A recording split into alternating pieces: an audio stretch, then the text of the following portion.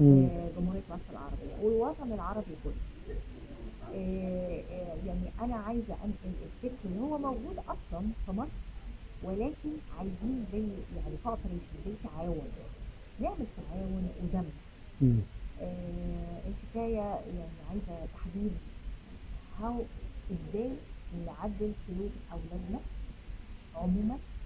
دلوقتي السلوك وصل لمرحلة يعني يعني متقدمة من من السوء آه، يعني السرقات والاعتداءات والعنف وبالنسبة للاحتياجات الخاصة بالنسبة للأطفال ذوي الاحتياجات الخاصة أنا طبعا برضه مهتمة إزاي نتعلم إن إحنا نعدل سلوكهم ونخليهم يندمجوا في المجتمع ويكونوا فئة يعني فعالة تعتمد على نفسها وفي نفس الوقت المجتمع ممكن يعتمد عليهم بشكل أو بآخر مم.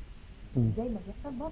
يعني دلوقتي المعاق بره بيسوق بيسوق آه عربية بيسوق يعني بيقدر يتعقل بيقدر يشتغل في مكاتب بيقدر حتى يشتغل في التدريس بيساهم في تحسين الاقتصاد. بيساهم في تحسين الاقتصاد بيساهم في تحسين أي يعني أي مجال من المجالات. يعني إذا هم قدروا يعني يعتمدوا على نفسهم وقدر المجتمع يعتمد عليهم. طبعا هذا جانب. الجانب الثاني هو التعديل السلوكي بالنسبة لأولادنا أو للأطفال عموما. إزاي الأطفال يطلعوا شباب صحيح مش معوج غير قابل للانحرافات وده أصلا ده هدفنا هدفنا المجتمعي في مصر وفي البلاد العربية كلها. مم. لأن أصلا الأساس بيبدأ من البيت والطفولة. الطفل لو اعوج سلوكه من الصغر هيقعد معوج مدى الحياة.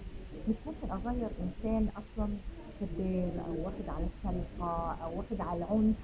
لأنه ما تعدلوش ما, ما سلوكه من الصغر وبعدين يعني خليه يندمج في المجتمع. المجتمع هيكون نتيج من كل الأخطاء. دي ده شق آه، تعديل السلوك بالنسبة للاطفال الاصدقاء أو الأطفال اللي هو مش أصحاب إعاقات أو أو آه، مش آه، مش ذوي احتياجات خاصه بالنسبة لذوي الاحتياجات الخاصه فيهم قدرات إحنا